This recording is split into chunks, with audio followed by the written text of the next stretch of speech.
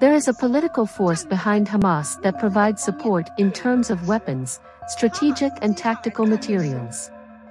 Hamas' next strategy is to lure Israeli troops from the ground to Gaza as the first step. Hamas has deployed a large number of unprecedented destructive weapons in Gaza, especially remote-controlled super bombs pre-buried underground, which will cause large-scale destruction to the Israeli army. In the second step, if the Israeli army enters Gaza, then a large number of unprecedented new weapons will be fired at Israel from the Golan Heights, mainly targeting energy facilities and other important facilities in Israel. In the third step, at the same time, from the direction of Egypt, the death squads with unrestricted weapons that have been deployed will directly attack the Israeli mainland. Suicide bombs will be used in key places.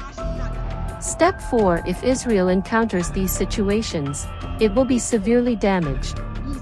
Then Britain and the United States may intervene in the war at that time, regardless of whether Britain and the United States intervene in the war. The war at this time had just begun.